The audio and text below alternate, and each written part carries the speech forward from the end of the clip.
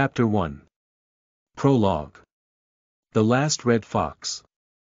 You are listening at fametv.info. In a dense forest, the peaceful environment was broken by figures running in it. Those figures were running at an inhuman speed and some were even flying in the air. Ahead those figures, was a young woman in a dark red dress. She was panting hard but she was trying her best not to get caught. Stop, called one of her pursuers. He looked to be the leader especially with the golden armor that adorned his body. No. I didn't do it, screamed the young woman in return. We won't hurt you. They always say that. All of a sudden, like an annoying cliche for someone who was trying to run away, a deep chasm cut off her path. A dead end. Seriously, she gasped. Nixtriel. We won't hurt you, shouted the leader once again. The king will never harm you.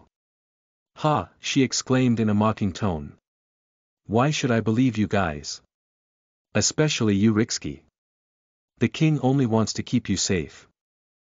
You mean trap me in his castle like some sort of prisoner. It is for your safety. You are the last nine-tailed red fox. The king you owe so love and respect drove my sister to her death, she screamed again. A sword suddenly appeared in her hands and hate flashed in her eyes. You executed her for a crime she never did. Have you forgotten how she saved the gods from devil's invasion?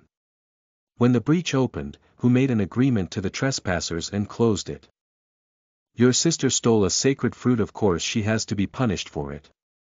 Does her life and achievements the same as a sacred fruit, which she never stole, she retorted. You are blinded by your hate and are therefore confused. Guards. Get her. Nixtriel raised her sword and defended herself from the advances of her opponents. She did her best not to kill them and only neutralize them. But there were six of them and only one of her. All of a sudden, Rixki attacked with his golden spear at hand. Nixtriel managed to parry it, but the leader of the guards was much heavier than her. She gathered energy around her arms and sword and deflected the spear. Her release of energy created a force that pushed her opponents away from her. She slowly looked back and saw the chasm behind her. She had no plans on killing them, but she didn't want to return either. The guards picked themselves up from the ground where they were thrown and did a defensive stance. They were ordered to catch Nixtriel, and they must never fail. All of a sudden, Nixtriel pointed her sword to the sky and six light blue orbs suddenly formed. Don't underestimate me. Have you forgotten?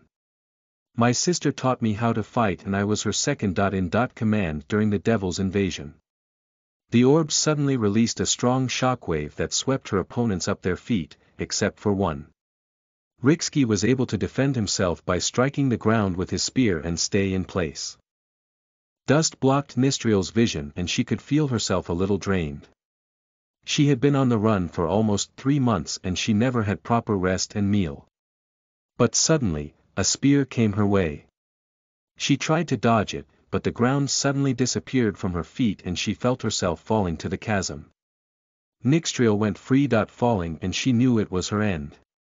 She watched her sword vanish and then accepted the fact that she was about to die. The sky got farther and farther away until there was nothing but darkness. Listen to the full novel at fametv.info, direct link in the description.